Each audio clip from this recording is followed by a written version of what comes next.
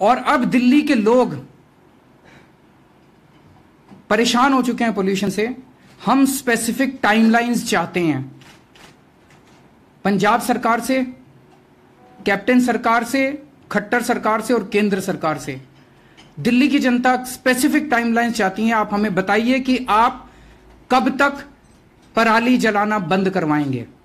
आप कब तक हमारे पंजाब और हरियाणा के किसानों को टेक्नोलॉजी और मशीनें उपलब्ध करवाएँगे। आपकी भी जवाबदेही तय होनी चाहिए।